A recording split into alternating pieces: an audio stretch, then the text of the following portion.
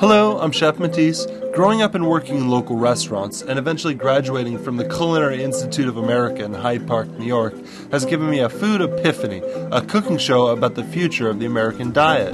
Buy local, eat organic according to the seasons. It's really very simple.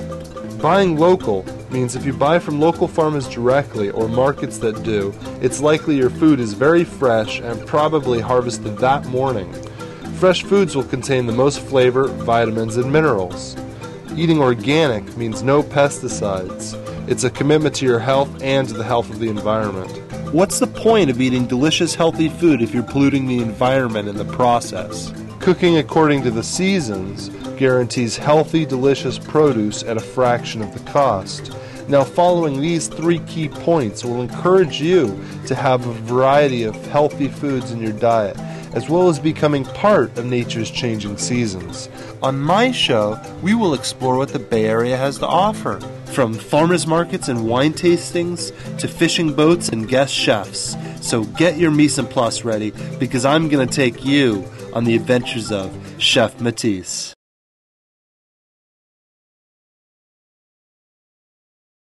Hello, welcome to the adventures of Chef Matisse. Today we're with a mushroom expert and we're out here. Um, we're going to look for mushrooms. I'll let you introduce yourself.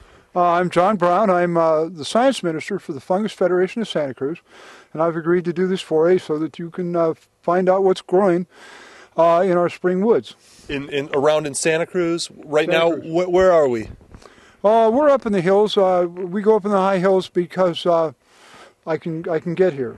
I don't want to tell you exactly where we are because I don't want to give it away. It's definitely a, a, a mushroom hunter's secret where you go mushroom hunting. It's definitely a mushroom hunter's secret. We don't give places like that away. We do tell you what you can find. Uh, we can tell you what kind of trees to look under, but we don't tell you where to look. It's really easy for anybody to go to a place somebody p- points out to them. It's really hard to find a place. So our camera woman spotted a mushroom. Uh, what did she find? That's uh, Amanita calyptrata. It's a very popular mushroom up here. Um, it's one of the few mushrooms that grows in this area that grows above the ground. It's a wonderful mushroom to find. It's delicious. However, it does belong uh, to the group of Am- the genus Am- Amanita, which has our most deadly poisonous mushrooms in it. Can, can you brush it off and so we can take a look, or should we You shouldn't pick it? Let's Okay. brush it off. Wow, it's a beautiful looking mushroom. Uh, the characteristic fe- features of the mushroom are that it has a wide uh, velar patch from the universal veil on it.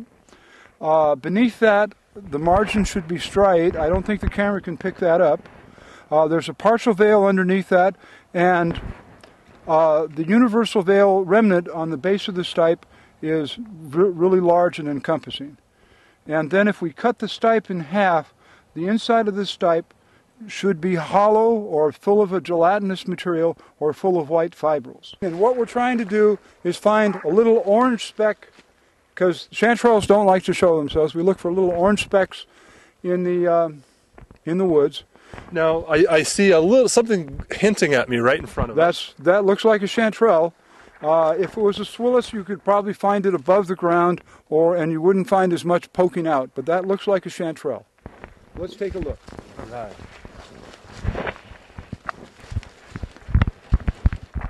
Here we uncover it, and that really looks like a chanterelle. that, so that that's a chanterelle. That looks like one. Let's pull it out. It could be anything until we pull it out.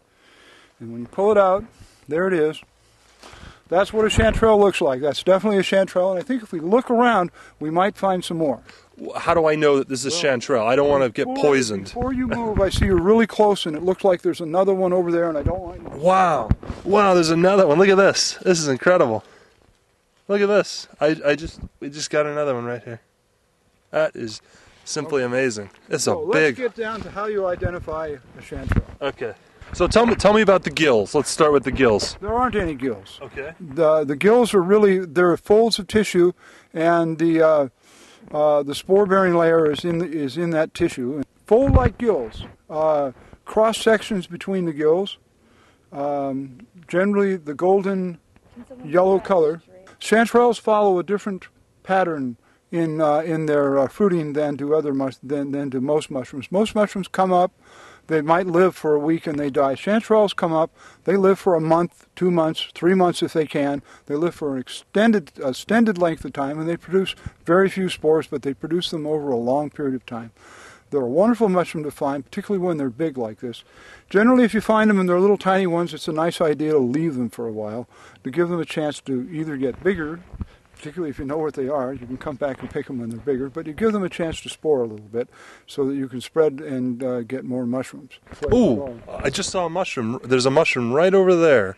What do we got? Okay. Now, when I go hiking in the Santa Cruz Mountains, I run into this mushroom a lot.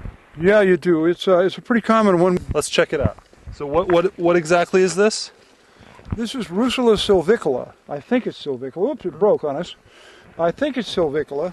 Uh, one of the fun things about russulas, and I always like to do this in my ID classes, um, or when I have people out and I'm uh, teaching them how to identify mushrooms, I'm going to have you taste a piece of this mushroom. Uh oh, I'm getting a little scared now. Now, you can be scared, but you have to chew it up just for a second or two and then you spit it out. You don't want to swallow it when you taste a mushroom that's raw. You want to chew it up just a little bit, get it, and then spit it out and I'll taste it with you so you don't have to be too worried. Here you go, grab a piece, and I'll grab a piece. Come on, come on, you can do it.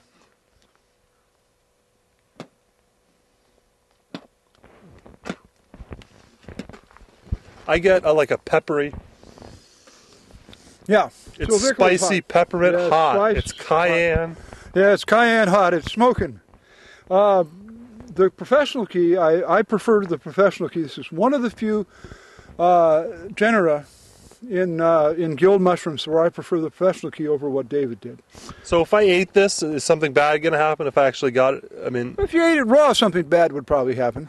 You'd probably be really sorry you ate it raw. Yeah. Um, some people, uh, Europeans, pickle these mushrooms. Uh, apparently, when you pickle them, uh, the the spiciness goes away.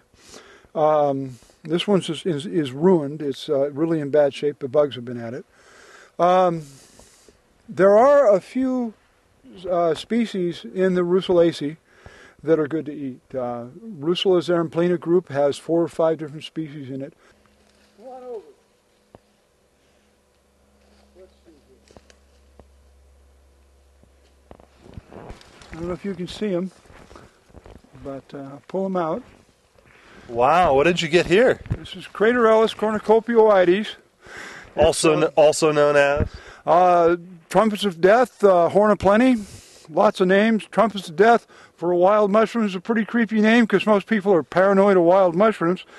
But they're just black and they they look like horns, so they're trumpets of death, and uh, that's what they're called. The French call them that trumpet triumph de mort or something like that. Trump de mort, and these are I don't speak French. these are a specialty. I see some more growing yeah, there too. A couple more here, and if you get a picture of how they are in the ground, you can see. And one of the things that I have to point out is that these are really hard to see.